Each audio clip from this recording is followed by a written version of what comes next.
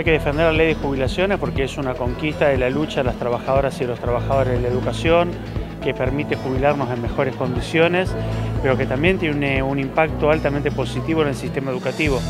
Acá principalmente porque entendemos que es necesario ponerse en firme contra gobiernos que tratan de avasallar la caja jubilaciones, las leyes y nuestro sistema previsional, leyes que nos costaron años de lucha conseguir y no puede ser que en unos meses las perdamos. Y pensar en lo que es eh, la escuela pública como eh, nuestro objetivo, ayer, hoy y siempre.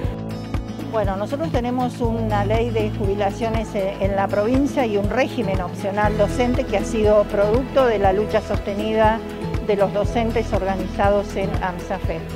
El Estado se tiene que hacer cargo de, este sistema de reparto solidario como lo viene haciendo. Este, no es posible mantener una caja sin el aporte del Estado.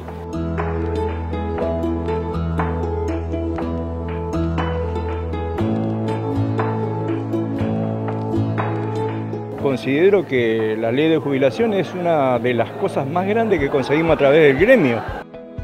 Para tratar de defender y de lograr que, siga, que el 82% móvil, la caja de jubilación en la provincia y que seguimos disfrutando de algo que es nuestro y que nos corresponde, que es un derecho logrado.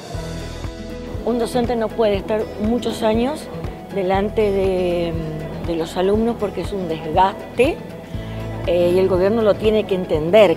La caja no se toca, para nada.